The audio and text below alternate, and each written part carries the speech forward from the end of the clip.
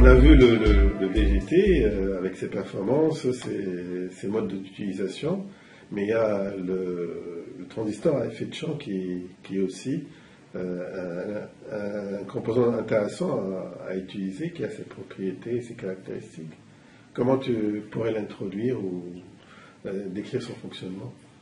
Premièrement, il faut se rappeler que le, le fait, c'est un composant unipolaire par rapport à bipolaire. Donc BJT, c'est bipolaire.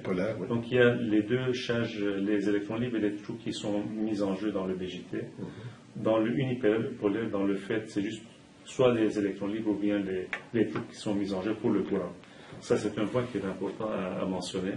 Donc, euh, la construction physique, peut-être c'est la même technique. Euh, il y a la, la photolithographie, etc., la déposition, le dopage. Mais par contre, la constitution est différente. Mhm. Donc, dans le cas d'un fait, finalement, on veut avoir un canal, on veut faire passer un courant dans le canal, et on veut contrôler ce canal, c'est-à-dire la résistance de ce canal.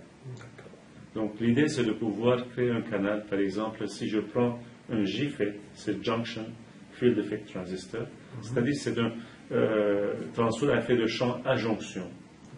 Et euh, ce transistor-là, principalement, laisse passer un courant et il y a un point qui va contrôler euh, le passage de ce courant. Principalement, ça ne va pas être le courant qui va contrôler, mais ça va être la tension qui va contrôler le courant qui circule d'un point à l'autre.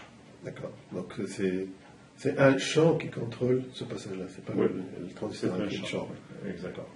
Donc le champ principalement qui va, donc dès qu'on applique une tension, ça va créer un champ et ce champ-là va faire passer le courant. Maintenant, il y a, comme je vous ai dit, il y a deux types de, euh, de GFET. On commence par le GFET. Mhm. Le GFET du type N et le GFET du type P. Principalement, on va se concentrer pour le euh, type N, ça va être plus facile à expliquer. Donc, c'est le passage des électrons libres sous un champ électrique qui va faire euh, le courant, qui va créer le courant. Mhm. Et le contrôle va être principalement par euh, une tension qu'on contrôle ce courant-là. Donc, c'est exactement une dualité entre le BGT. Donc, il y a trois bols. Mhm. Donc, on va appeler le, drain, la source et la grille. Le drain, c'est l'équivalent du collecteur. La source, c'est l'équivalent de, l'émetteur et la grille, c'est l'équivalent de la base. Donc tout ce qu'on a appris dans les VGT, on peut utiliser la, sur la dualité. La seule différence, c'est euh, le fonctionnement est un peu différent par rapport à la VGT. Donc j'explique clairement, si j'ai un semi-conducteur du type N par exemple, si je, mets une tension, il va y avoir un courant qui va passer à travers ce, semi-conducteur. Si j'ajoute deux, deux autres semi-conducteurs du type par exemple P je viens de créer une diode. Donc cette diode-là, par contre, il faut la polariser en, inverse mhm. pour que le transfert fonctionne d'une façon qu'on appelle le JFET, un fonctionnement JFET. Si je polarise directement, ça ne va plus fonctionner comme un transistor. Donc l'idée, c'est de pouvoir créer cette jonction et de la polariser en polarisation inverse. Donc si on polarise en, inverse, automatiquement on va augmenter la zone de dépression. Mhm. Et c'est cette zone de dépression qui va changer le, la résistance du canal. C'est ça. qui va favoriser ou bien bloquer le passage Donc à un moment donné, si ce champ-là est trop intense entre le, drain et la grille, mhm. le canal va être vraiment euh, étranglé, qu'on appelle étranglé. Donc il va y avoir un passage du courant, mais quand même le courant va rester à ce moment-là euh, constant. Donc dès que le canal va être euh, étranglé, mhm. on augmente la tension entre le drain et la source, mhm. mais par contre la résistance du canal aussi va augmenter, donc de telle sorte que le courant va rester inchangé. Donc c'est ça principalement. Donc finalement, le contrôle se fait par tension et pas par courant comme c'est le, cas du transistor. Dans le cas du transistor BGT, c'est par le courant ou bien par la tension, c'est la même signification. Mais dans ce cas-là, il n'y a pas de courant. On ne mentionne pas le courant parce que entre la grille, il n'y a pas de courant qui rentre dans la grille. Donc les avantages et les inconvénients, euh, des choses, je vais juste énumérer les, plus importants. Par exemple, le fait euh, est beaucoup plus stable en température. il y a moins de bruit euh, au niveau, par exemple, des applications haute fréquence où le bruit est très important. On ne veut pas créer du bruit avec le transport. Et puis, pour les applications aérospatiales, disons, c'est moins sensible à la radiation. Par contre, les faits sont très sensibles à l'électrostatique. Donc, si on fait une gaffe, on, par exemple, on touche un fait sans se brancher à la masse, on va le composant. Exactement, on va endommager le, composant. Et la réponse fréquentielle aussi n'est pas aussi bonne que les VGT. Ah, d'accord. Donc ça, ce sont les grands points. Maintenant, euh, il y a aussi euh, les transistors à effet de champ qu'on appelle les MOS. Mhm.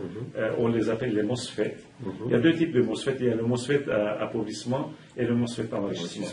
Principalement, le MOSFET à appauvrissement ressemble beaucoup au GFET, mhm. mais la constitution est complètement différente. Donc, il y a un canal entre deux points où on peut faire passer un courant. Et ce canal-là va être contrôlé par la grille à travers un, isolant, ce qu'on appelle métal oxyde semi-conducteur. Donc le semi-conducteur, c'est le chemin mhm. euh, du, courant, c'est-à-dire le canal. Mhm. Euh, la grille, c'est le métal. Et puis, entre les deux, il y a euh, l'isolant qui va pouvoir nous laisser l'opportunité de contrôler ce canal-là.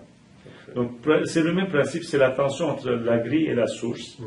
qui va contrôler le courant qui circule entre le drain et la source, comme dans le cas de GFET. Maintenant, en pratique, euh, actuellement, pour les circuits intégrés, on utilise beaucoup plus les, les MOSFET à enrichissement. Mhm. Donc, pour le MOSFET à enrichissement, il n'y a pas de canal. Donc, si on ne met pas une tension VGS, une tension de seuil, même si on applique une tension entre le drain et la source, il ne va pas y avoir un courant qui va circuler. Donc, en appliquant une tension au bord de la source et de la grille, mhm. dès qu'on va augmenter cette tension-là, par exemple, en positif, on va induire un canal. C'est quoi la signification d'induire un canal? C'est que le champ va être tellement intense que les, électrons libres qui sont dans le P, les porteurs minoritaires, mhm. vont être attirés sur le canal. Donc les électrons libres vont être attirés sur le canal. Donc on va créer un, canal induit rempli d'électrons libres qui va laisser le courant passer entre le, drain et, la source. Parfait. Donc il n'y a pas de canal physique, mais il y a un canal qui va être créé, qu'on appelle un canal induit. Mhm. Donc Principalement, si on regarde le BGT, on avait dit qu'il y avait un courant IC et il y avait un courant IE qui était presque identique. Dans le cas du, du, GFET ou bien le FET, le courant IDIS, c'est la même chose. Euh, le courant IG, il n'y a pas de courant IG est égal à 0, alors que le courant IB est existant dans le BGT. Et entre la base et l'émetteur dans le BGT, il y a 0.7 volts. Mhm. Entre la grille et la source, c'est cette tension-là qui va contrôler le courant ID. Euh, et si on regarde euh, dans la zone active, c'est-à-dire lorsque le courant est saturé, mhm. dans le cas de BGT, le courant IC a une relation directe avec le, IB. Donc IC est égal à bêta fois IB. Dans le cas de, euh, du FET, si je prends par exemple le GFET ou bien le MOSFET à appauvrissement, mhm. c'est l'équation de, de qui va dominer. C'est-à-dire le courant ID va, va dépendre de VGS, mais par contre, ce n'est pas une équation qui est linéaire c'est une équation quadratique un peu plus complexe. Donc je répète, ça c'est très important. Une caractéristique quadratique. Quadratique. Une chose que les étudiants doivent faire attention, c'est que dans le cas de BGT ou bien dans le cas d'un GFET ou bien d'un FET, lorsqu'on parle avec ces équations de Chokri ou bien lorsqu'il c'est égal à bêta fois on parle toujours dans la zone du courant saturé, c'est-à-dire dans le mode actif. Donc il ne faut pas oublier ça, c'est un point qui est très important. Donc, euh, là, bon, en classe, on va pouvoir leur montrer les symboles de, différentes euh, mhm. fêtes, le JFET, les MOSFET, etc.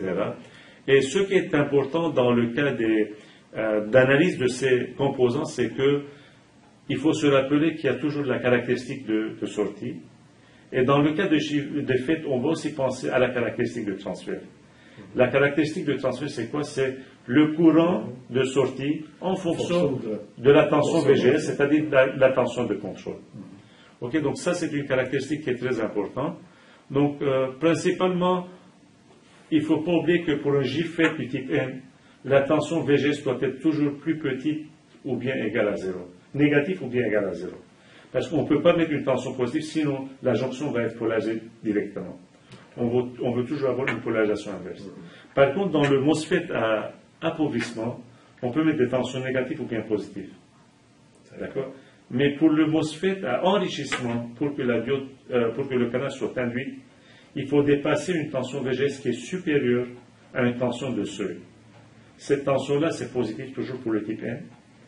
Par exemple, ça peut être 2 volts, ça peut être 3 volts, ça dépend de la, de la constitution du transistor MOSFET. Mhm. Et dès qu'on dépasse cette tension de seuil, le courant va commencer à circuler. Donc la tension VGS doit être toujours positive pour le type N et doit être plus grande que la tension de seuil. Donc cela dit, je pense qu'en classe, on va leur montrer clairement les caractéristiques de sortie et les caractéristiques de transfert. Maintenant, il y a un point qui est très intéressant, c'est que la caractéristique de transfert euh, peut être obtenue à partir de 4 points, 4 paires de points. Mhm. Donc euh, si on prend ID égale à IDSS, mhm. on va trouver que VGS est égal à 0. Si on prend ID égale à IDSS sur 2, on va trouver que VGS va être égal à 0.3 fois VP à peu près. La tension VP, c'est la tension de pinch-off qu'on appelle la tension d'étranglement. Et lorsqu'on prend le 1 quart IDSS, ça devient la moitié de VP. Finalement, lorsque VG est égal à la P, il ne va pas y avoir de courant. Donc, principalement, VP, ça veut dire quoi? VP, c'est la tension d'étranglement. C'est à partir de cette tension-là que lorsque VD est égal à moins VP que le courant va commencer à se En plus, euh, lorsque VG est égal à VP, le, canal va être complètement bloqué. Donc, il n'y aura pas de courant qui va circuler. donc, n'oublions pas qu'il y a trois zones. Il y a la zone résistive, il y a une zone qu'on appelle triode où le courant est à la forme d'une courbe. Il y a la zone active qui, où le courant est saturé. Il y a la zone où on appelle la zone bloquée où le courant ne, circule pas. D'accord. Très bien. Ok, donc une dernière remarque, c'est que euh, dans plusieurs applications des circuits intégrés, on va utiliser les deux types de, de, de MOSFET en enrichissement qu'on appelle e-MOSFET, mm-hmm. Enrichment MOSFET. Mm-hmm. Donc, on va utiliser le type N et le type P. À ce moment-là, on les appelle le CMOS. Complémentaire, c'est-à-dire on a le type N et le type P. Donc, en anglais, c'est complementary MOSFET. Donc, on les appelle les CMOS. Donc, on utilise deux composants on utilise, ça, on utilise le type N et le type P en même temps. D'accord. Euh, La fabrication est facile, hein, parce qu'on va, on va prendre, par exemple, on va commencer par un semi-conducteur du type P, mm-hmm. puis on va, mettre, on va faire un puits du semi-conducteur du type N. Dans le type N, on va former le, le MOSFET du type N. Mm-hmm. Dans le substrat N, on va former le, euh, le MOSFET du type N.